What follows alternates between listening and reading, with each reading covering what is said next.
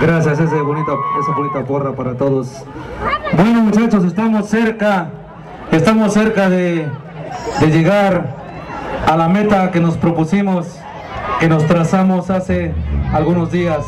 Estamos cerca de llevar a la victoria a Laura y con ella juntos ganaremos todos. Es un proyecto, como dijimos, donde cada vez somos más, donde cada vez más familias tienen la esperanza, tienen aquella esperanza y la ilusión de que sea un municipio mejor. Ella es una señora que, acuérdense que ha trabajado mucho por ustedes, por todos en el sistema DIF, por lo tanto ella no tiene competencia, señores.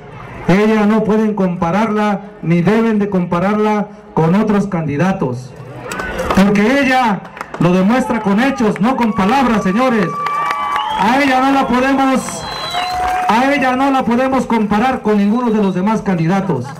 Porque los demás solo son palabras hasta ahorita. La señora tiene hechos. Por lo tanto, yo no la compararía con ellos. Ella es una persona que ha trabajado y que siempre trabajará por ustedes. Vienen partidos y les dicen que van a hacer y que van a hacer, eh, les van a bajar el cielo de las estrellas. Vienen y dicen que no han recibido ningún beneficio de parte del gobierno actual.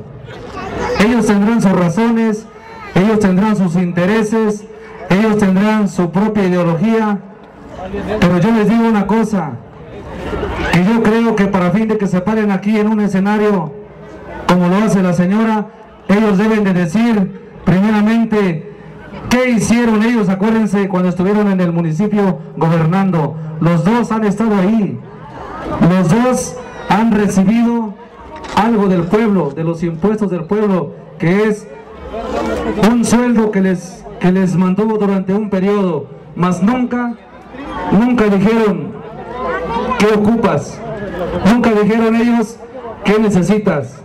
Y ahora vienen diciéndoles a ustedes que ustedes merecen todo y que les van a poner todo.